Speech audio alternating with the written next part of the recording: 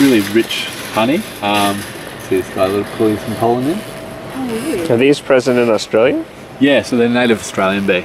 A native Australian bee. Yeah, yeah. Um, so these guys, these guys will um, collect honey from um, our eucalypt trees and um, bring that down. So these guys just thought this was a tree and Yeah. they've built into it and um, they use, if you touch that there, very waxy. Oh yeah, it's kind of sticky. Yeah, so they've just mixed sa- sand in with the um, in with their wax. Wow. Do they fly? So that- yeah, they do. Yeah. But they Holy don't smoke. sting. No, they don't sting. So Um, what kind of honey Yeah, you is can it? see them flying around here. Uh, it is quite windy at the moment. Um, the honey's actually ninety. It's um ninety dollars a kilo. Jeez. Yeah, it's just because they haven't um.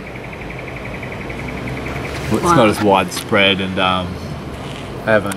What do they call it when they pull it all together? Like colonize them um, and Yeah. make their um, They haven't really they don't have a pro- process processing Yeah. plants and stuff. They don't have any of them. Um, so, So yeah, the whole thing it? is with it. Um, you just buy it in areas that they, they can find it. Um, Wow. yeah, That's so weird.